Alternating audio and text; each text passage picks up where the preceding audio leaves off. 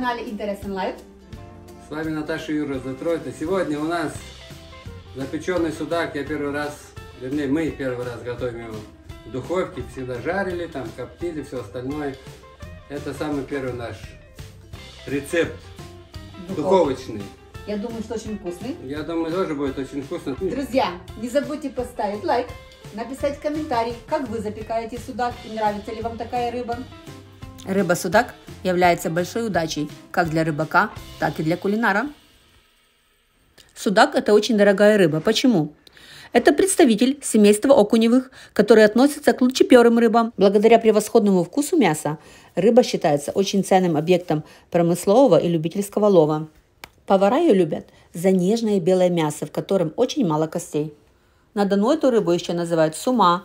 Это хищник, и рыбалка на него только ночная. Очень сильная рыба. Посмотрите, какие зубы у него. И поймать такого красавца – большая удача. Что я вам скажу? Рыбалка это хорошо. Рыбу поймать тоже хорошо. Но чистить ее, я вам скажу, что не очень хорошо. Операционный стол. Да, все закрыли. Я просто думал, что у судака такая чешуя, что ее тяжело чистить. Я думал, как у беса будет. Так, почти как у щуки, только она крупнее, но чистить так же.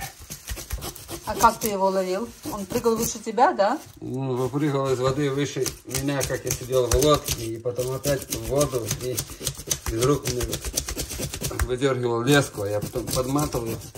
Два килограмма а было приятно его вытаскивать. Было ощущение, что он больше. Ну, достоин боролся, короче. Хорошая рыба. А, рыба моей мечты. Ночной хищник. Наташа, это ты. В рифму? Да. Скоро. У него живот такой полный, как будто икра. Он не... Нет, они весной шириновато. Ну, а что такой живот полный? Перед тем, как Поел рыбку, наверное. честный крючок подкормил. Я была права. Смотрите, сколько икры. Судаки. Я думал, он сейчас не может быть цеплюсь. Мы были удивлены. Судак не рестится ранее весной. Почему такая большая икра уже? Друзья, кто знает, напишите нам, подскажите.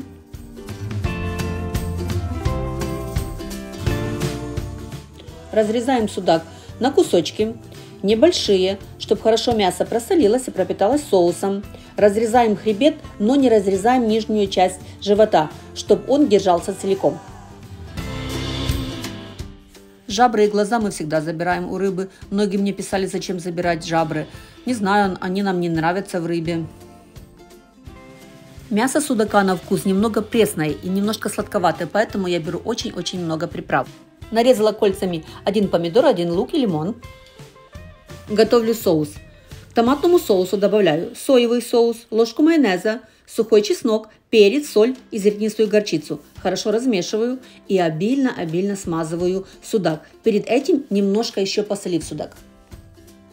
И еще сверху посыпаю сыром пармезан.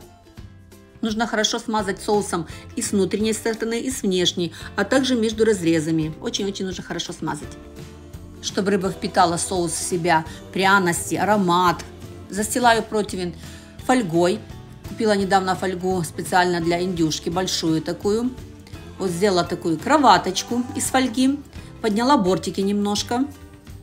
Выложила одеялко из нарезанного лука и выкладываю сверху рыбку. В разрезы закладываю помидорку, лимончик и лук. Противень у меня 43 сантиметра, а длина рыбы 63 сантиметра, поэтому рыбу пришлось немножко закрутить. Настоящие глаза у судака светятся, они такие прозрачно-белые. А я вместо глаз положила виноградины, и он стал похож на большую креветку. Разогрела духовку на 180 градусов и запекала судак час. 30 минут под фольгой сверху накрыла и 30 минут уже сняла фольгу. Смотрите, какая аппетитная рыбка. Какой нежный аромат рыбы, горчицы, помидоров и лука. Ну и, конечно, к рыбке хорошо запеченная картошка. Я всегда ее чищу и запекаю в духовке 20-30 минут. После этого добавляю чесночок, растительное масло и вкусняшка такая хрустящая. Ну а на гарнир к рыбе тыква. Чистим тыквочку, убираем мякоть и семечки и разрезаем на кусочки. Это тыква спагетти.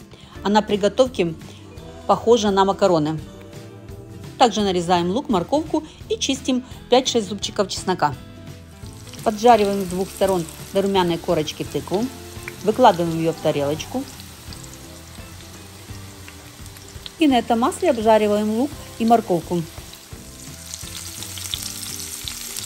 После обжарки выкладываем в тыкве, хорошо перемешиваем, добавляем соль, чеснок порезанный или через чеснокодавку, а также перчик. Тыкву можно подавать как гарнир к рыбе или мясу, но холодная она не менее вкусная. Можно добавить нарезанный укроп или петрушку и салатик осенний, витамины очень хорошенький, а также лечебный. А вы знали, что тыква – это естественное средство очищения организма? Оно выводит всю лишнюю жидкость. Тыкву применяют в программе лечебных диет для улучшения зрения, обмена веществ при гипертонии, туберкулезе, профилактике, онкологии также. Блюда именно с тыквы спагетти напоминают мне вкус макаронов с картошкой. Это особый гибридный вид тыква спагетти, и она напоминает макароны, такие длинные спагетти.